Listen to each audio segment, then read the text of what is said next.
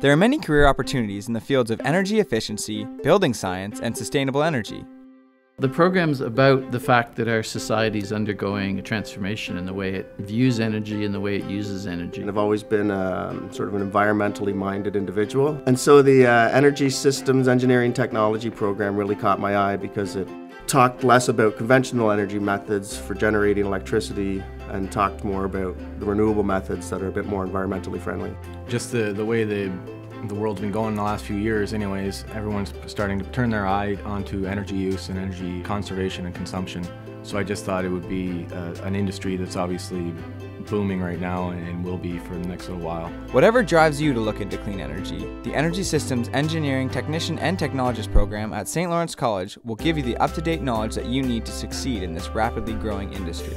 We were the first energy systems program in the province. Was the first one offered in Ontario that focuses specifically on energy efficiency and sustainable energies. We've been doing it longer than the other colleges.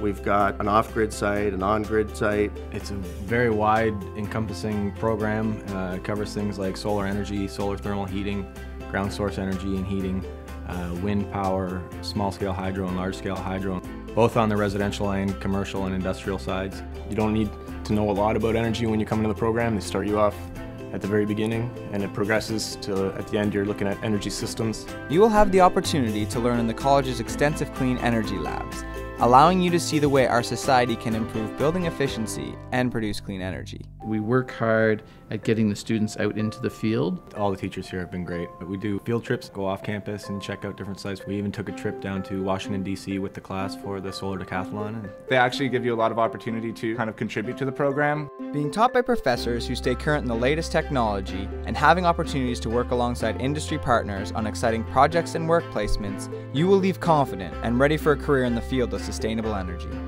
I mean, it's just been a great experience, great three years here. It was perfect. It gets your feet wet and you start meeting a lot of people in the industry. Our graduates are, are going across a broad spectrum of jobs where an understanding of energy, its usage, and its impact is required.